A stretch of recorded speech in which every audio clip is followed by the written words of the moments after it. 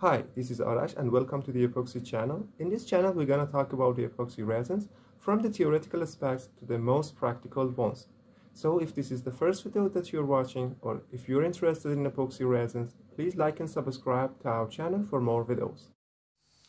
Today, I'm going to present overview of chemistries of epoxy resins.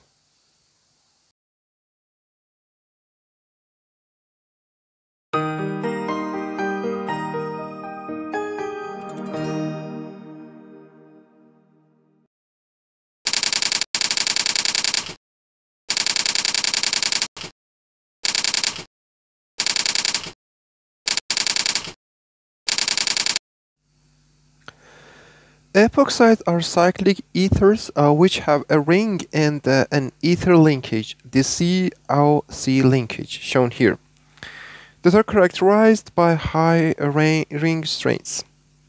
The ring strains make epoxides much more reactive than other ethers.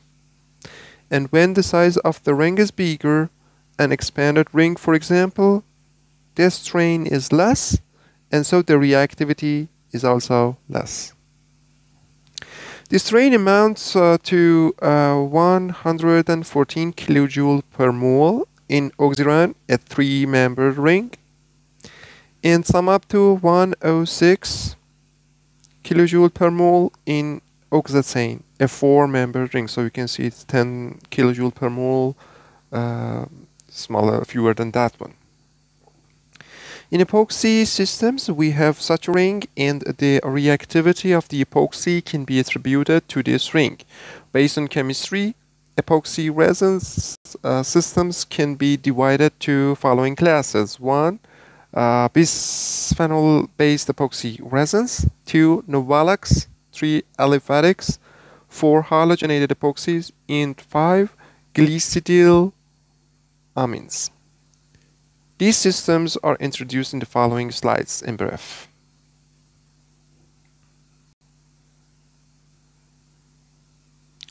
The most common epoxy resins are based on reacting uh, epichlorohydrin with bisphenol A, resulting in a different chemical substance known as bisphenol A diglycidyl ether, commonly known as BADGE.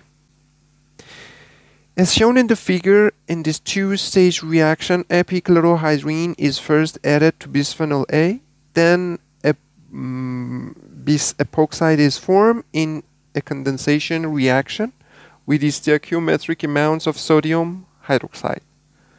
The chlorine atom is released as sodium chloride, NaCl, and the hydrogen atom is released as water. Higher uh, molecular weight diglycidyl ethers with N bigger than 1 are formed by the reaction of bisphenol A diglycidyl ether with uh, further bisphenol A. This is called pre-polymerization.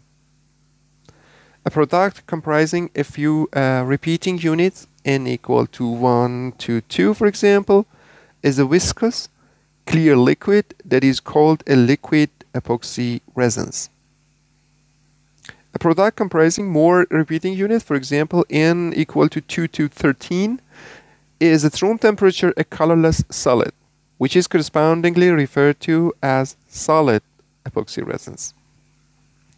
Bisphenol A-based resins are the most widely commercialized resins, but we have other bisphenolic epoxy resins as well. And instead of bisphenol A, other bisphenols, especially bisphenol F or brominated bisphenols, for examples, uh, tetrabromo uh, bisphenol A can be used for the epoxidation, um, for the epoxidation and uh, pre-polymerization. These resins typically have lower viscosity and a higher mean uh, epoxy content per gram than bisphenol A resins, especially bisphenol F, which once cured gives them increased chemical resistance. The other type include diglycidyl ether of bisphenol F, diglycidyl ether of bisphenol H, and diglycidyl ether of bisphenol S resins.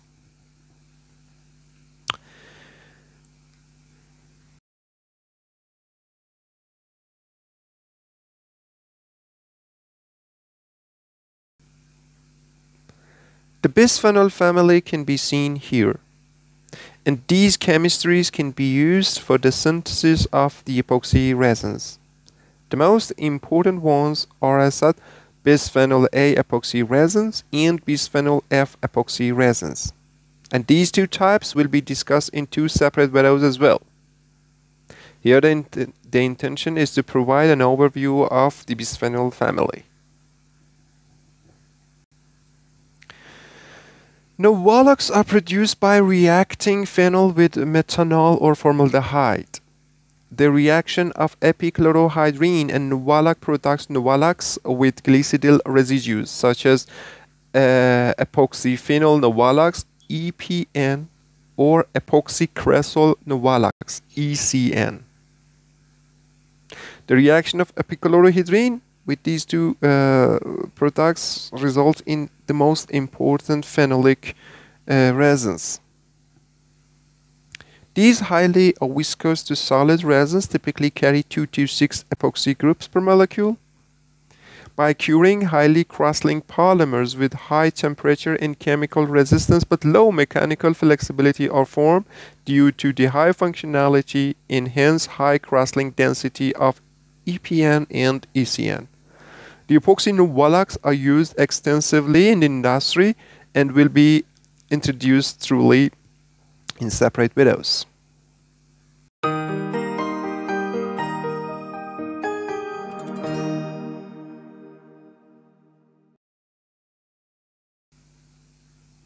Aliphatic epoxies are produced from either double bond epoxidation, for example, cycloaliphatic epoxies and epoxidized vegetable oils, or from a reaction with epichlorohydrin, glycidyl ethers and esters. This group includes uh, hydrogenated bisphenol A epoxy resins, cycloaliphatic epoxy resins, and the glycidyl ethers of diols. Cycloaliphatic epoxies mm, possess one or more aliphatic rings in the molecular housing and uh, oxirane ring these uh, epoxies have an aliphatic structures, high oxygen content, and are chlorine-free. They are produced by the reaction of cyclic alkene with peracid. Aliphatic epoxy resins polymerize very slowly at room temperatures, so higher temperatures and suitable accelerators are usually required. These resins are UV stable, exhibit color retention, possess low viscosities and exhibit good weather resistance, chemical resistance, and low dielectric constants. They can be used in coating adhesives, composites, and electrical insulations. Examples of aliphatic epoxy resins have been presented here. The right one possesses an aliphatic ring and the left one is a linear system. These classes also will be discussed in separate videos in detail. Halogenated epoxy resins are admixed for special properties. In particular, brominated and fluorinated epoxy resins are used. Brominated bisphenol A is used when flame retardant properties are required, such as in some electrical applications, for example, printed circuit boards. The tetrabrominated bisphenol A TBBPA can be added to the epoxy formulation for that purpose. The formulation may then be reacted in the same way as pure bisphenol A. Some non-cross-link epoxy resins with very high molar masses are added to engineering thermoplastics, again to achieve flame retardant properties. Fluorinated epoxy resins have been investigated for some high performance applications. Common ones have a low surface tension and added as a wetting agent or surfactant for contact with glass fibers. Its reactivity to hardness is comparable to that of bisphenol A. When cured, the epoxy resins leads to a thermosetting plastics with high chemical resistance and low water absorption. However, the commercial use of fluorinated epoxy resin is limited by their high cost and low TG. Glycidylamine epoxy resins are higher functionality epoxies which are formed when aromatic amines are reacted with epichlorohydrin. important industrial grades are uh, 3-glycidyl P aminophenol with functionality of 3 and N, N, N prime, N prime tetraglycidyl bis 4-aminophenyl methane with functionality of 4. The resins are low to medium viscosity at room temperature which makes them easier to process than EPN or ECN resins. This coupled with high reactivity plus high temperature resistance and mechanical properties of the resulting cured networks makes them important materials for aerospace composite applications.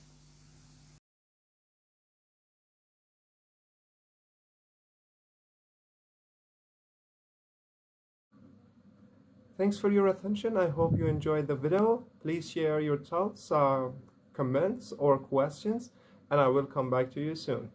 Thank you.